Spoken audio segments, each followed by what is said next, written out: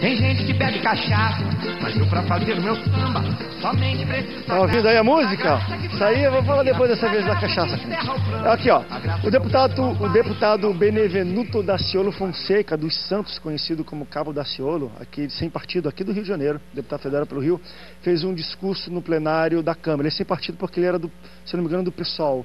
Ele foi eleito e ele é crente, o povo não gosta de crente lá não. E é, no discurso no plenário da Câmara dos Deputados, ele exortou o deputado Eduardo Cunha, do PMDB do Rio de Janeiro, e os demais parlamentares da bancada evangélica. Daciolo disse que se converteu há 11 anos e que desde então tem vivido uma grande transformação. E na sequência do discurso né, inflamado, o deputado foi objetivo direto na crítica às denúncias que pesam contra Cunha, que tem reiterado que não ah, irá renunciar ao cargo de presidência da casa e contra o governo Dilma Rousseff do PT. Você vai ver, e ele falou em línguas, o negócio, Deus usou o cara lá em cima, irmão. Olha esse mistério aí lá na, na Câmara dos Deputados, veja só o vídeo. Eu gostaria de deixar aqui, começar aqui a minha fala, dizendo que em 2004 eu aceitei o Senhor Jesus como Salvador e Libertador da minha vida. E começou uma grande transformação. Eu me lembro muito bem que no dia 16 de julho desse ano, nós falamos que sinais iriam começar a acontecer nessa casa. E começaram. Eu quero mandar um recado tanto para o Planalto e também para o Congresso Nacional.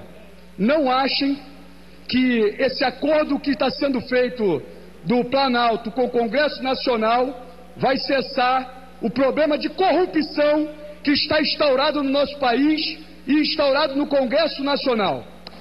Dizer ao presidente Eduardo Cunha: presidente, o senhor não está sozinho. O senhor não está sozinho nessa lama de corrupção do nosso país. O senhor não está sozinho como um homem que diz ser evangélico, homem de Deus, envolvido com corrupção. E dizer à bancada evangélica, alguns membros da bancada evangélica, vigiem, vigiem, vigiem, porque o nosso Deus não é Deus para ficar brincando. Vai na internet, no YouTube, dá uma olhada que ele fala bastante tempo, a gente está com o tempo reduzido. E meu irmão, falou em línguas. Estava ali, já que a gente está falando em línguas aqui, ele pegou e foi embora e falou em mistério e tudo mais. Ah, vamos falar um pouco sobre, primeiro, eu, não, eu quero, claro, falar, não necessariamente falar sobre o conteúdo da fala dele, porque o Brasil está vendo no desenrolar o que está acontecendo, às vezes é muito preocupante, né? De gente tá pondo aqui porque quer apoio ali, tem carta, tem assinatura, tem foto. Isso aí o público já julga e não precisa. A minha grande questão é. E ele foi ali, falou de Deus e tudo, e começou a falar em línguas na Câmara de Deputados. Ah, pra, muita gente mandou isso pelo WhatsApp para mim, eles queriam entender, André, eu já vi falar na igreja, num culto, mas na Câmara, onde não tem crente, o pessoal não está nem aí. Como é que é essa coisa da manifestação das línguas estranhas? Que ambiente vem? Como, como, é que você entende? Está falando de uma coisa de corrupção, daqui a pouco fala em línguas. É possível essas coisas? É, é um ambiente mais vertical do que horizontal, né? Porque eu estava pensando, enquanto ele falava, sobre o significado da palavra profeta, né? hum. né? Que vem de profeme, que significa aquele que está diante de. Diante de quem? Diante de Deus. Né? O profeta fala em nome de Deus, né? Como Elias disse é, para o, o rei é, que o perseguia, Acabe, né? Ele disse assim, olha, eu estou falando da parte de Deus, né? Cuja face estou, diante da face estou.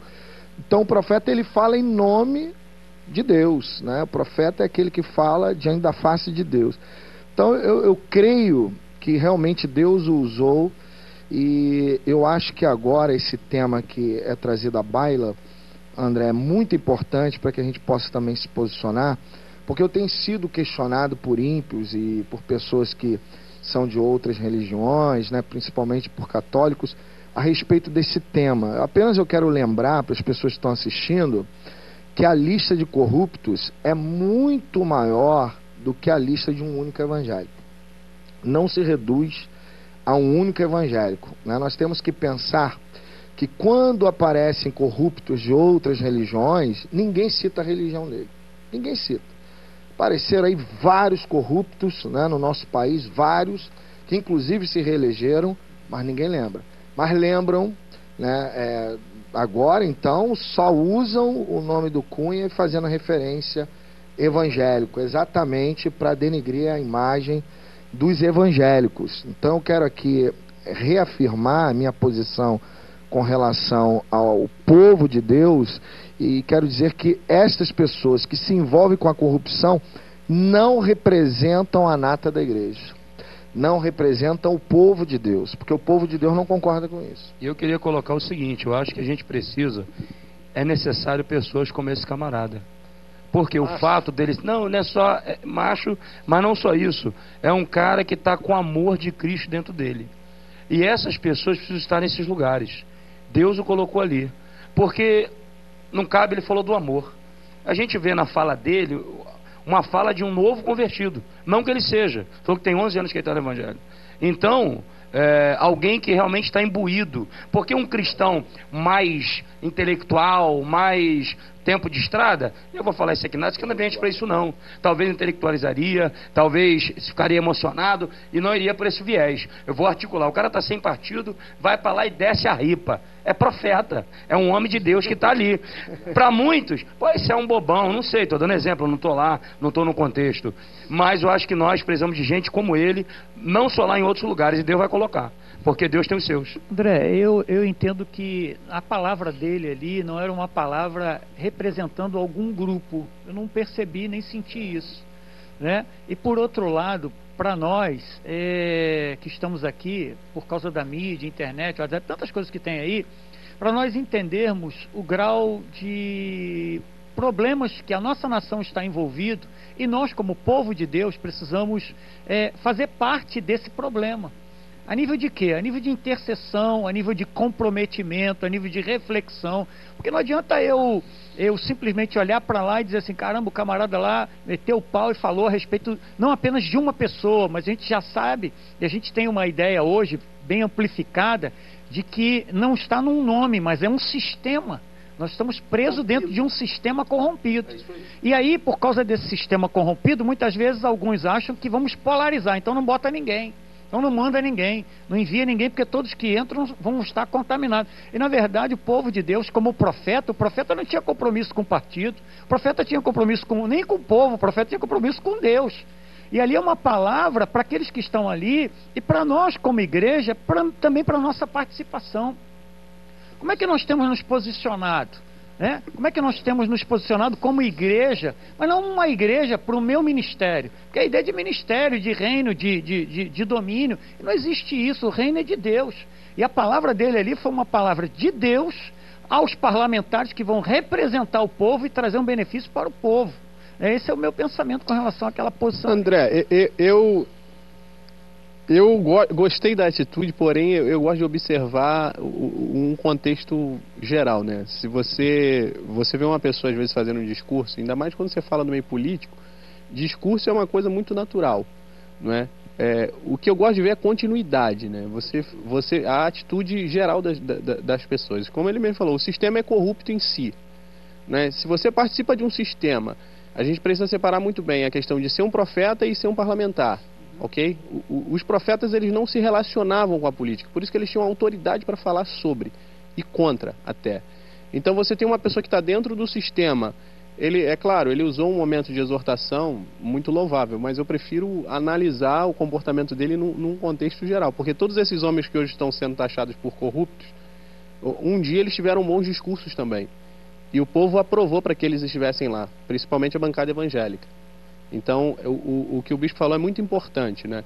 É, não representa, já representou, não representa hoje, porque não faz parte da nossa conduta, mas nós aprovamos para estar lá. Então eu acho que o mais importante é, é, a gente entender o nosso comportamento, é quem eu sou. Isso vai mudar a minha essência, porque o Brasil está corrupto, eu vou, eu, vou, eu, vou, eu vou ser corrupto também, eu vou continuar elegendo corruptos. Agora, é uma coisa que a gente não tem como precisar. Hoje não é corrupto, amanhã pode ser, porque o sistema está assim. Agora, o que, qual é a minha posição como cristão? É a posição de continuar crendo é, em Deus como igreja. A igreja tem um poder soberano, está acima disso, está acima da política, governa acima disso tudo. Hein, André? Eu, desculpa, pastor. O que eu gostaria de deixar claro é o seguinte: dissociar o nome do indivíduo da instituição igreja. Né? Porque as pessoas logo associam. Não, camarada evangélico, olha o que ele está fazendo e começam a julgar. Né? Aí se forma o que nós chamamos de etnocentrismo. Não, os evangélicos não prestam, porque olha lá, o camarada evangélico Mas o problema. está fazendo é- isso. Só que quando outros erram, que eu não vou nem citar nomes porque eu não sou doido, né? Eu tenho juízo, é, só numa outra situação citaria. Vários aí de outras religiões, ninguém diz, ah lá, o cara é católico, camarada é maconheiro. Isso é ruim, mas também é. jogo, mas né? A gente tá terminando, tá subindo os créditos, né? Isso é bom, mas tem um lado. ó, isso é ruim, mas tem um lado bom disso também. Eles nos julgam pelo que eles entendem Que a que é a que ser, Bíblia. né? Isso é bonito também. ser, né? Mas não é evangélico, por que, que ele tá fazendo isso? Isso. Ninguém fala isso com católico, com é e que tudo. Ou seja, política. eu sei, mas o patamar evangélico tá bom, tá, tá alto, por isso que as pessoas nos julgam por isso. Tem um lado ruim, mas tem um lado bom. É. Mas não dá pra gente debater, já acabou, subiu os créditos, pastores, obrigado pela presença de vocês, obrigado pela sua audiência, até o próximo Antenados. Tchau, tchau. Você me provou que ama quem eu sou, não se mexe.